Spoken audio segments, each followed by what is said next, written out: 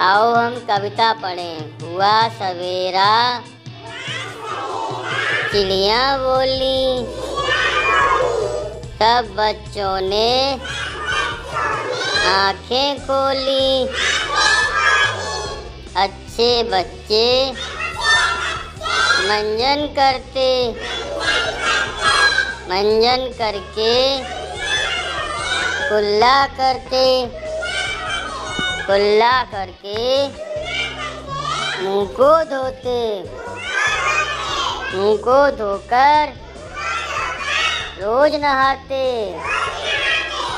रोज नहाकर खाना खाते। खाना खाकर पढ़ने जाते। सब बच्चे अच्छे बच्चे बनेंगे, बात मानेंगे।